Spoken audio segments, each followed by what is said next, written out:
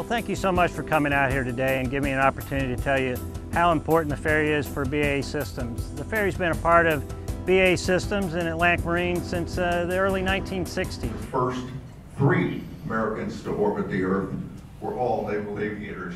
John Glenn, the uh, Scott Carpenter, and Wallace Schirra. I think it's about 11 or 15 Gs in that range.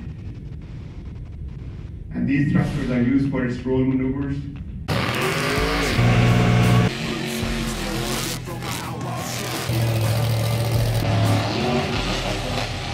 When your moment comes, grab hold and own it. Never let go, stand tall and hold tight. Overcoming obstacles is the objective in life.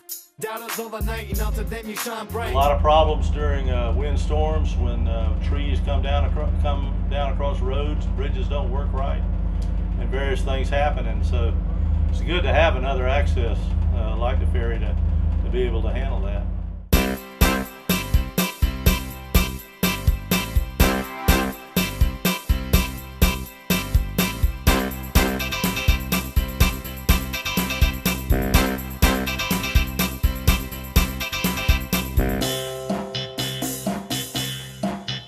Tell what football game is being played by the flags and the tags on the vehicles crossing the St. Johns River Ferry. Because when they come to Jacksonville, it's one of the things people want to do.